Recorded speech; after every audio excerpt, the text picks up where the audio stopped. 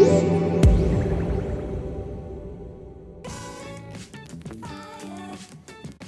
everyone, it's Julian from Digital Trends, and we're here in a Volvo car checking out some new enhancements to this car, specifically in the infotainment system. You might think it's Android Auto, but it isn't. I'm here with Dylan Thomas from the Android Auto Partnerships team, and he's going to run us through some of the key features of this car. Yeah, absolutely. So uh, thanks for the intro. We're going to show a couple of things. Uh, some of them are around Android. So this is running Android P, as you just indicated. It's actually a system running Android. It's not. There's no phone involved here. Um, and the second thing that we're pretty excited about this year is introducing not just maps and the assistant, but also the ecosystem in the shape of the Play Store. So I'll show you those in a quick run through, but first of all, let me kind of point you out uh, how Volvo's used Android to create this user experience that they call Sensus UI. Um, just like Android on a phone, they have uh, some system user experience or UI components, but they're at the top in this case rather than the bottom. So I could look at the rear view camera, the apps, the users, and vehicle functions. Um, there's elements of this uh, like notifications, so that you know an Android developer writing an app should expect that if they send a notification, it'll show up somewhere. Right. So that's kind of a key part of this is this seamless integration of apps. The second thing is uh, integrating with the vehicle hardware itself. So down here, we've got uh, um, the uh, HVAC or the uh, comfort controls.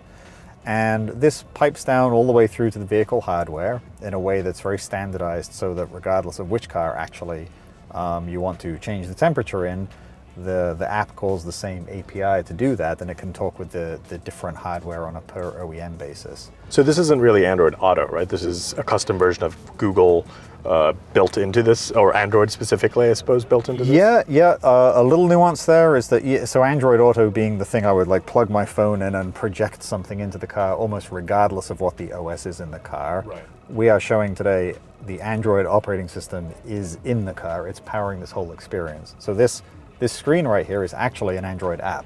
Right. It happens to be one for HVAC, but it's an Android app written by the Volvo team. And you also specifically mentioned that if you do this, you get notifications. Yeah. How much of this is uh, tied to your phone in that, say, for example, um, is it limited to, I know it's Google Play Store is available as well, Mm-hmm. so can you actually install, for, for example, like Facebook Messenger? Will you get notifications like that? Would that be distracting? You know, uh, how, how is it limited in, in the Yeah. certain types of apps So you can there's a, install? so- yeah, so that, well, there's a few questions in there. So number one, yes, there is a there is a ecosystem. There's a store. In fact, let me just show you that. Um, if you go down here to look at all the apps that I've got installed, there's a new one. Um, now this is uh, uh, something we're working on actively, uh, but this is the Google Play Store for automotive. Okay. And you can see, to answer your first question, uh, is it all the apps? No, it's the ones that are going to work well in an automotive setting. So here are sort of the essentials, the most popular. Uh, streaming, It's really funny that there's the New York Times. you gotta, gotta get the news when you're in the car. uh, messaging, Okay. uh, media, and and you, you really pointed it out well. Is that these today are the the apps that do work on Android Auto, and the reason they work in this car as well is because they implement the same APIs. Okay. So that's powerful for developers where they they, they, they do one piece of work, and it now works on any of these Android Automotive surfaces. okay. Um, so that's one, and then yeah, so I could install an app here. Uh, um, here, I mean, it's already installed Deezer. I can uninstall it, um, and it's user choice. So you know, there's what's come, there's what comes with the car, and then there's what I, as the owner of the car, want to bring into the car myself. Okay. That's that's the real power of the ecosystem is the user choice. So for both Google as an app developer, for Volvo as a provider of a device, and the driver, they all get what they want. Right. So they get the built-in apps like that, which is important, um, but then the ones that they want to bring in as well, like the maps and the media apps and so forth. Okay. Yeah. Um, and then the second thing you mentioned was the notifications. I think that's an area that's evolving. I mean, we've got to figure out what's a good, safe experience there. The- I think the point is that we've built in the right fundamentals into the operating system, the right hooks for it. And then we've got to work closely with our OEM partners to, to, to figure out what's a safe experience there. Because clearly, you know, bing, bing, bing, bing, bing, Right. bing, bing, bing is not good. Right. On the other hand, not getting a notification that you're, you know, a notification saying, hey, your oil's running low is kind of a problem. Right. There's some there's something in between. Well, so I saw some of those messaging apps, for example. Mm-hmm. So how intensive, like if I'm having a conversation with someone. I know Yeah. the the idea is that you can press that button and actually, can you actually do that with third-party applications, for example, or is that something they have to develop for using Google Assistant APIs, maybe in the Yeah, so the so the the the assistant is what we use um, as kind of the UI, if Right. you like, for messaging apps. Um, so that should be pretty seamless. I mean, you see that today in Android Auto, in fact. Excuse me. Um, in terms of notifications, I think one of the things we've done um, today is you can mute a conversation. So if it's just getting distracting or too much, you can just say, "Hey, I'm, I'm done. Let me let me just let me just mute that one." Um, so again, we haven't we don't have the full story yet because the car isn't in production, um, but we definitely want to make sure that we have the right safety in mind. Uh, that's that's the number one job, and then we can back off for that to what seems reasonable for the user. Cool. So um, yeah, but then we could step through a couple of apps here. So we looked at the Play Store, which is sort of bring the ecosystem. Awesome. Um, we've worked pretty closely uh, on Google Maps. The team has spent a lot of time making sure that this fills this great big screen here. Um, what's interesting in cars actually is that unlike phones, which are all sort of like black rectangles about that big, is in cars the screens have lots of different sizes and shapes. Right. So we want to make sure that we make the best use of that, like big fonts, uh, the right colors, and so forth. The second part, you want to look over at this screen in front of me here is the cluster display for the driver. And the Google Maps app is now capable of generating two screens worth of content. One of them is highly optimized for driver view. And uh, so as I, for example, go home and start navigating, you'll see that the main screen I'm going to navigate, and this will start to indicate the current route for me. Um, on Charleston Road toward Alta Avenue. So if I now on the main screen, like you as the passenger, you're playing the music, you want to be the DJ, what have you, I'm not losing this critical information right in front of my eyes. Right. Turn Um, right North Shoreline Boulevard. And we get a notification here of a turn. So then I'm going to go. you're out of that. Yeah, right. So let me let me go back to the main screen up here, um, and turn this off, uh, and go look at some other items that we've got going. Go back to the home screen.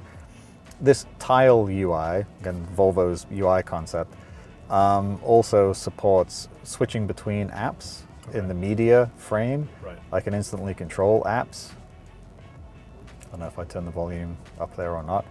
Um, and the other part too is these, as I mentioned, these sort of these icons or these actions provided by the developer of the app. Gotcha.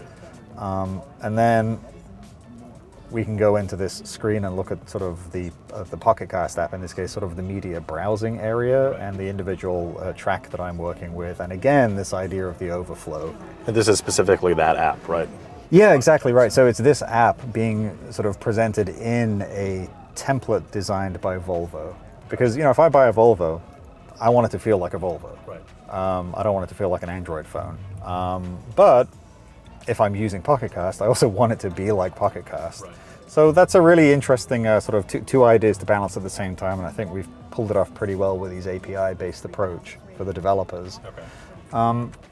And if I just uh, sort of switch over to messaging, I mean, it supports phones. I, I gotta clarify, it's not it's not being powered by the phone. And if this was uh, not an Android phone, for example, it would still integrate well with Bluetooth. So if I wanted to uh, send a, um, I don't know, welcome to I/O, let's be original, um, like this, and send a message on this phone, then the phone that's paired with the car gets it, Okay. just like you would expect in a regular system, and uh, I can then. It's kind of quiet, but Oh, it- it uh, read it it, out. it read it out to me. Gotcha. So trying to be less distracting. And in Volvo's idea here is that you know rather than give you an option to type a long message, uh, it's just to say, "Great, What is that specifically? it's a it's a it's a person holding a steering wheel with Oh, their I head. I think it's a yeah right, Gotcha. and and so that of course came over here from the the person. right. up, right? At the same time, there must be a way to use Google Assistant to talk to it or something. Yes, that- yeah, yeah, yeah, yeah. Um, don't have it uh, connected for this demo, but yeah, for sure, right? I mean, this is something that's possible today. Right. Um, I mean, to the phone, in the car, yeah. And then when you're pressing and holding that button, that's I assume this one. Yeah, yeah, yeah. So if, if I go and say, uh, tell me about eco driving mode. Eco driving mode adapts the car for more energy efficient and environmentally conscious So driving. that's how you launch it. Now, what's interesting about the thing that just happened there is that there are some things you say to the assistant that are just generally helpful, like uh, play the song that goes ground control to Major Tom.